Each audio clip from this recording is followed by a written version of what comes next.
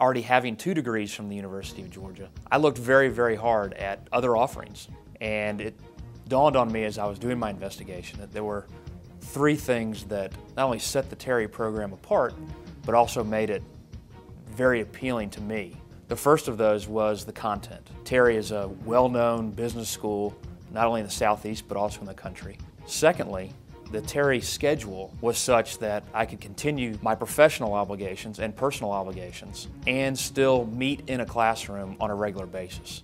And third, the investment that the Terry EMBA required was appealing. I realized the return on my investment at 100% within 12 months. I think you've also got to look at the return on investment in an executive MBA program as the return of what you get other than financially.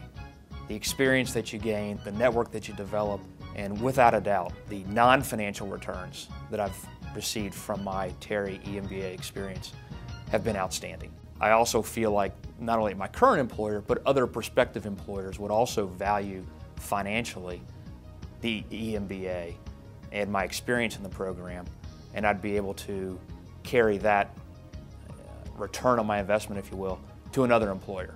A large value of an executive MBA program is the network that you develop. You can learn the materials from any program in the country, but having that network and having that established bond between your other students or the advisors or the professors is something that really sets this program apart and really drives value to the student. So when I had finished the Terry Executive MBA program, my ultimate decision made sense not only from an objective standpoint, but also because the Terry College of Business really felt like home.